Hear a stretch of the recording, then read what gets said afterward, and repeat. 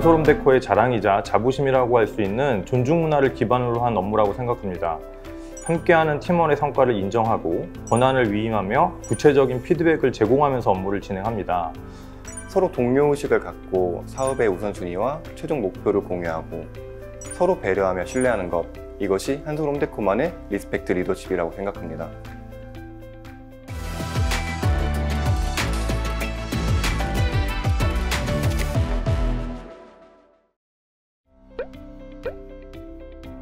안녕하세요. 저는 브랜드 전략팀 디자인실에서 전시장 지원, 벽장재 개발, 샘플북 제작 업무를 맡고 있는 이성준 선임이라고 합니다. 최근에는 제주도 스토리보드 쇼룸 프로젝트 업무를 담당했습니다. 안녕하십니까. 저는 브랜드 전략팀 팀장 허재호라고 합니다. 현재 한솔홈데코에서 브랜드 및 제품 마케팅 업무를 맡고 있고요. 그 다음에 제품 기획 및 출시 업무도 함께 하고 있습니다. 팀 내에 디자인실이 산하로 소속이 돼 있어서 제품 개발, 그 다음에 공간을 디자인하는 업무도 함께 진행하고 있습니다. 저희 팀은 다들 웃음이 많고 밝은 편이라 회사에서 화기애애하고 분위기 좋은 팀이라고 소문이 났어요. 전사의 제품을 개발하기 때문에 타부서와의 소통이 굉장히 중요해요. 때문에 제품 개발을 착수할 때도 유관부서와 킥오프 미팅을 우선으로 시작하죠. 각 품목별 담당자 위주로 업무를 진행하되 디자인실 인원의 전반적인 의견을 수렴해요. 그렇기 때문에 직급의 상하를 떠나 좋은 의견이 있다면 적극적으로 수용해 진행하는 팀이라고 할 수 있습니다. 저희 팀은 한소름데코에서 없어서는 안 될 중요한 팀입니다. 한소름데코의 얼굴이라고 할 수가 있겠죠. 팀 내 분위기는 젊은 MZ세대 직원과 그 다음에 기성세대 직원이 한데 어울려서 서로 협력하면서 업무를 수행하고 있고요. 팀 특성상 업무 영역이 넓고 전문성이 필요한 부분이 많아서 팀원별로 아레날이 명확하고 타부서 협업이 필수가 되겠습니다. 때문에 커뮤니케이션 능력이 뛰어나야 되고 활발한 소통으로 인해 많은 아이디어가 탄생하는 그런 팀이라고 할 수가 있겠습니다. 이번 제주도 쇼룸 프로젝트는 한솔홈데코의 스토리보드가 궁금한 소비자들이라면 누구든 방문해 제품을 체험할 수 있어요. 이번 쇼룸에서 눈여겨볼 디테일이 세 가지 정도 있는데요. 첫 번째는 올해 한솔홈데코에서 신규 출시한 제품을 한눈에 볼 수 있다는 점입니다. 동조 엠보 기술이 적용된 우드 제품부터 스트라이프 엠보가 적용된 메탈 제품까지 다양한 스토리보드 신제품을 쇼룸의 평형별로 구성해 놨다는 점이 특징이죠. 두 번째는 스토리보드 바디가 적용된 쇼룸이라는 점입니다. 스토리보드 바디는 시중 바디 제품 대비 다양한 컬러 구성으로 소비자의 취향을 보다 깊게 고려했어요. 세 번째는 쇼룸에 사용된 자재가 모두 한소름 데코의 제품이라는 점입니다. 바닥 벽 등 모든 부분이 한소름 데코 제품으로 채워져 있어 방문하는 분들이 주방뿐만 아니라 각 생활 공간에서 한소름 데코 제품을 만나볼 수 있습니다.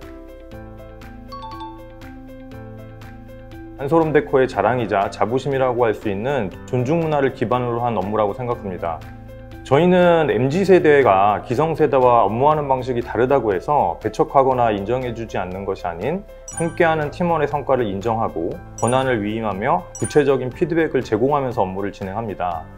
이성준 선임은 그동안 팀 내에서 크고 작은 프로젝트를 단독 혹은 공동으로 진행하는 것을 봤을 때 이번 제주도 쇼룸 프로젝트를 맡아서 진행하는 것이 당연하다고 생각했습니다. 예, 실제로 업무를 맡겨봤더니 결과는 뭐 제 예상대로 너무 잘 해냈습니다. 기획 당시부터 역시 MZ세대답게 톡톡 튀는 아이디어로 좋은 반응을 이끌어냈고요. 더불어 책임감 있게 업무를 수행하며 좋은 결과물을 만들어내줘서 선배로서 너무 고맙고 기특합니다.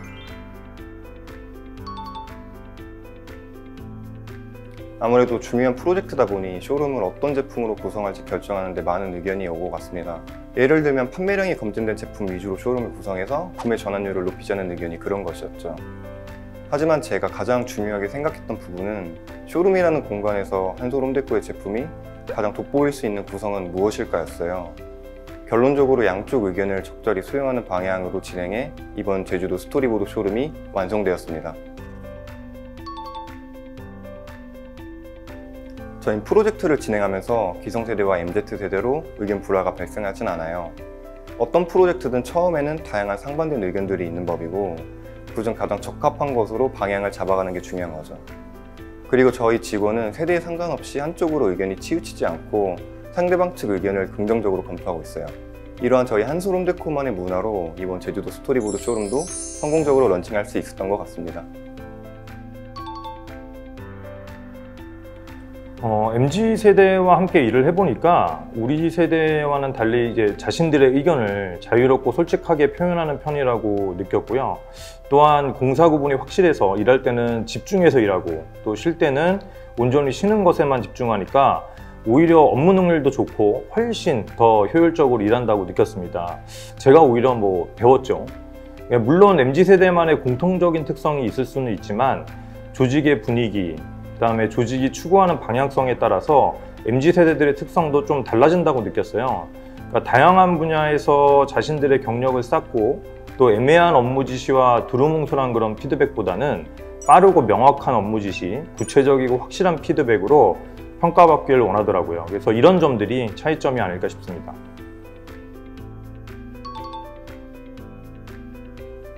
선배님들은 확실히 경험에서 나오는 노하우가 있었어요. MZ세대 직원들은 아무래도 업무 경험이 부족하다 보니까 꼼꼼히 하려고 해도 놓치는 부분이 있기 마련이었거든요. 근데 기성세대 선배님들은 신경 안 쓰시는 것처럼 보이는데 저연차 후배들이 놓치는 부분들을 정확하게 캐치하시더라고요. 그럴 때마다 역시 경력은 다르구나 라고 생각이 들면서 존경심이 들 때가 많았어요. 저도 후배들에게 그런 선배가 되고 싶어요.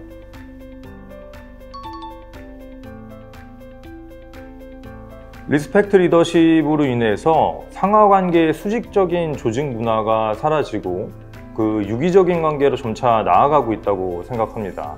세대가 다르다고 배척하는 것이 아닌 이해하고 소통하면서 업무적으로 서로 조화롭게 일하는 문화가 만들어져서 좋은 시너지를 낼 수 있는 원동력이라고 보고 있습니다. 한마디로 한솔홈데코의 respect 리더십은 존중 그 자체라고 생각해요. 사실 다양한 세대가 한데 모여 업무를 하다 보면 의견 차이가 발생하는 일이 많죠. 그러나 저희 한솔홈데코는 선배님들의 경력에서 나오는 노하우와 MZ 세대만의 새로운 아이디어, 여기에 respect 리더십으로 인해서 서로의 의견 차이나 문제가 발생하더라도 잘잘못을 따지기보다 존중과 이해가 우선이 돼요. 그렇기 때문에 오히려 자유로운 분위기 속에서 더 좋은 결과를 이끌어낼 수 있었습니다. 서로 동료의식을 갖고 사업의 우선순위와 최종 목표를 공유하고 서로 배려하며 신뢰하는 것 이것이 한솔홈데코만의 respect 리더십이라고 생각합니다.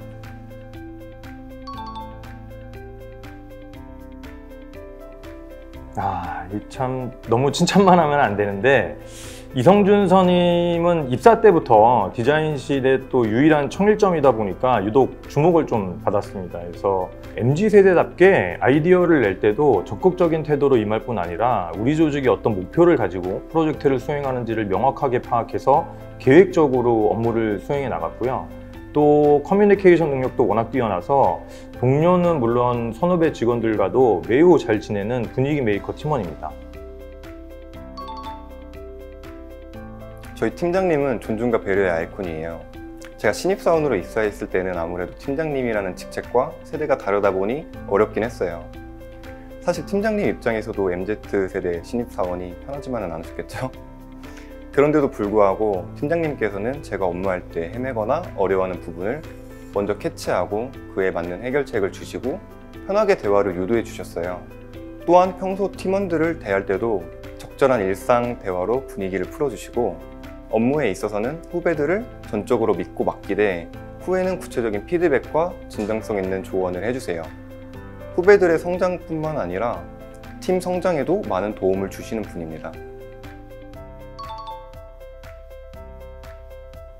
세대를 떠나 사회생활, 조직생활을 함에 있어서 가장 중요한 부분 중에 하나가 주변 사람에 대한 이해, 그 다음에 공감대 형성이라고 생각을 합니다.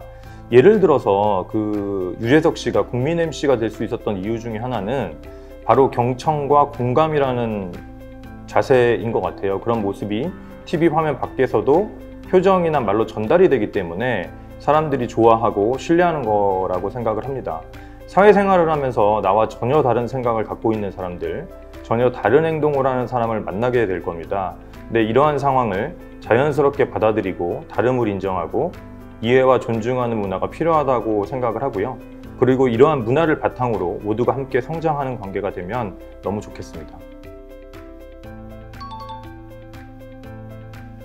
최근 여러 매체에서 MZ세대가 굉장히 과감하게 표현되고 있어요. 또한 기성세대가 MZ세대를 굉장히 어려워하는 모습으로 노출되기도 하죠. 하지만 매체에 노출되는 부분은 아무래도 과장되어 표현되는 것 같아요. 실제로 막상 일을 해보면 MZ세대들은 유연한 사고와 보다 감각적인 업무 능력을 갖고 있다고 생각해요. 서로 존중과 배려를 토대로 소통하면서 일을 하다 보면 업무적으로 좋은 시너지를 낼 수 있다고 생각합니다.